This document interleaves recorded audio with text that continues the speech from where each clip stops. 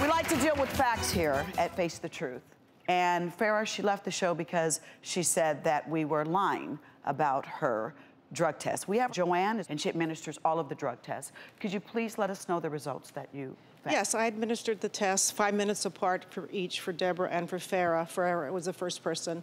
And I waited, as the test said, five minutes, and it showed, it was about 17 drugs that we tested for, and it showed up for barbiturates that she was positive. Just to be clear, 100% that was Farrah's drug test. 100%. And Joanne, she's free to go, and she can go today and retest if she believes Oh, that we altered it, just to prove we were wrong. Is that correct? I mean, Correct, yes, because we're not looking to accuse her of anything. Right. Right. No. This was Look what- For the facts. Yeah. This is the fact. wanted her to face It's the the truth truth, more Yeah. than anything It else. is too bad before we she left really before getting a real resolution with, with her you, and her Deborah. mother. I mean, I honestly thought that we had did a breakthrough. I mean, you all hugged each other, which Right. I'm sure you all hadn't done that in a long Right, time. right. And you know, you're still here, and we appreciate that you're still here. So, um, do you mind accepting um, some resolutions from the Truth Team about how you? I would how you? love to. All righty. Yeah. Okay. Judge Mary. I can only tell you what my mother did with her children uh, when she had crises going on, and that's the power of prayer. And I'm Mm-hmm. a strong believer in the power of prayer Absolutely. and hope. Man, I agree. I agree. Dr. Judy.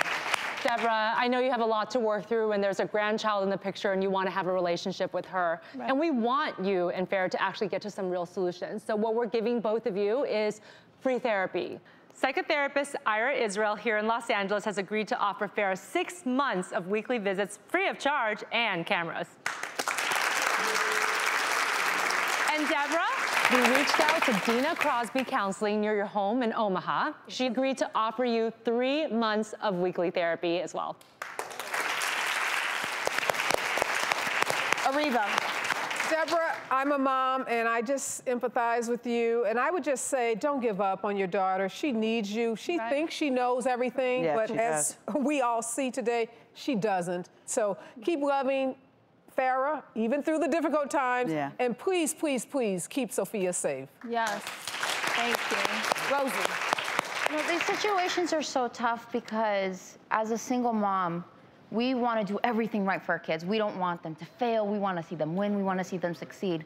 But unfortunately, you know, as they grow up and become adults, they have to make their own choices. Yes. And by them, we have to stand. We have to choose to love them in the good, and we have to choose to love them in the bad. Mm-hmm. And all I have to say is at the end of the day, for the single moms that are out there, Love always wins. If you find yourself lost and you don't know what to do with your child, you don't know how to handle a situation, always come from a place of love. Don't criticize. Sometimes as mothers, we have to be silent and just give unconditional love. Thank you, Rosie.